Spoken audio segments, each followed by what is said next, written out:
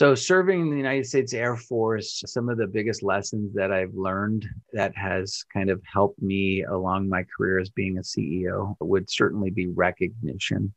In the Air Force, they recognize you for everything. In fact, so much so that you get these awards and you place the awards so everybody can see your recognition in real time. We make it a, very clear goal of ours here at Hennessey Digital from a leadership perspective to make sure that we are recognizing people on a daily basis and there's awards that are giving out. And so I attribute a lot of that to my time in the military in the United States Air Force. I'd say the the second lesson that I learned is just discipline.